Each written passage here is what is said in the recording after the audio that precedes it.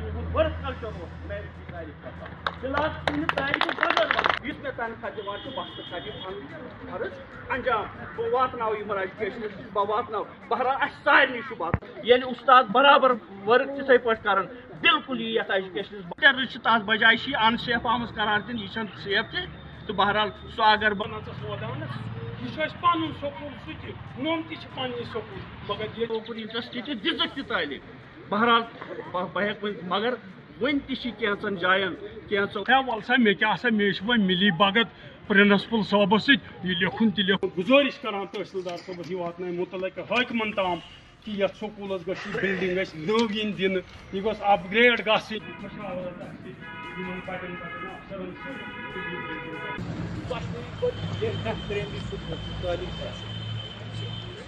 तिमन दौर ज़्यादा योर दह दह पाँच दह बहरहाल।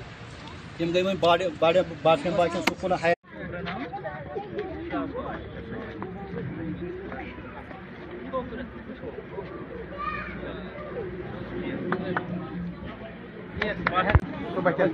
क्या परवाह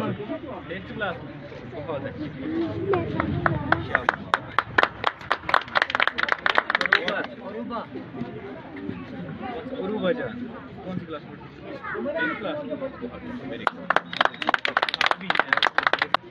अच्छा कहाँ रहते हैं? समोरा में कहाँ?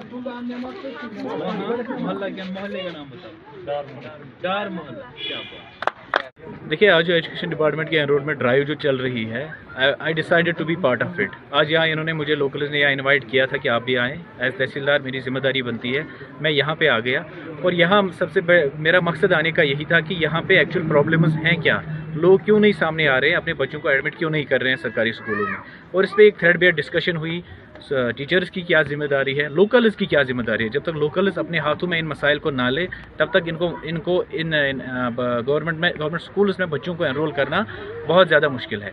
तो इसके अलावा एडमिनिस्ट्रेशन की क्या ज़िम्मेदारी है? सब पे एक थर्ड बेयर डिस्कशन हुई। इसके अलावा इस स्कूल में हमारी जो बिल्डिंग है, वो भी अनसेफ है।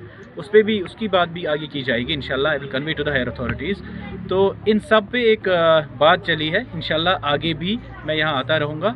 और इन जो बच्चे हैं यहाँ पे इनकी इनकी जो इम्प्रूवमेंट है, इनकी जो कैसे इनकी नशोनुमा होगी, कैसे ये ज़्यादा से ज़्यादा बच्चे स्कूलों में एनरोल होंगे, उसी के रिलेटेड एक प्रोग्राम था और ये आगे भी चलते रहेंगे।